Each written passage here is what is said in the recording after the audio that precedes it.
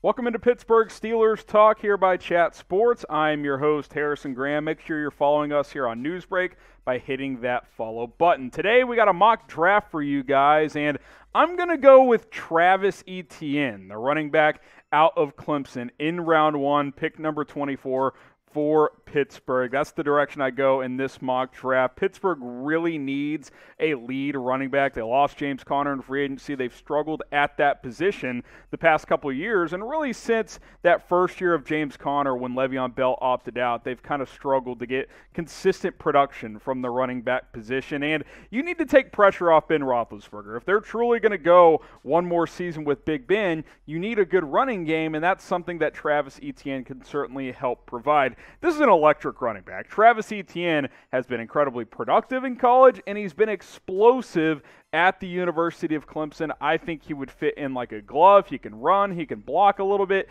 he can catch the football as well. I think he's the number two running back in this draft, but could even be the top running back depending on, on what your need is. If you need more of an explosive getaway speed type of back, Etienne could be more of your flavor. You look at the career numbers at Clemson, a very experienced player, 55 career games, almost rushed for over, for 5,000 yards, had 70 rushing touchdowns, average over 7 yards per carry. He was fantastic on the ground at Clemson, and he was also great through the air as well. Had over 100 catches in 4 seasons, got better in that area the last couple of years of his college career as well, over 1,100 yards, 11 yards per catch, and 8 touchdowns. Travis Etienne is a complete running back. Maybe he's a little bit uh, a little bit slight in frame, but you could put five or ten pounds on. I think he would be just fine in the National Football League. So grade the pick of Etienne at number 24 overall. A, B, C, D, or F.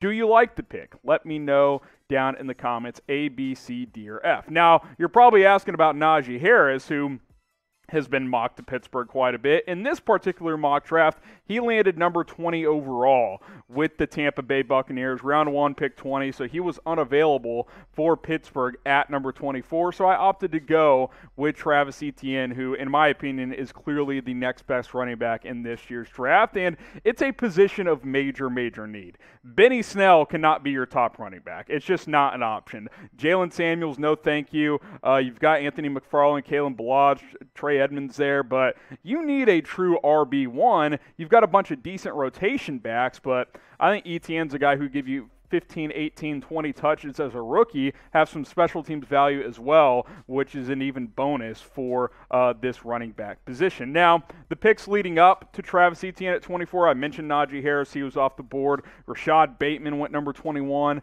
the wide receiver out of Minnesota to Baltimore. Joseph Ossai, the Texas edge rusher, landed with the Titans.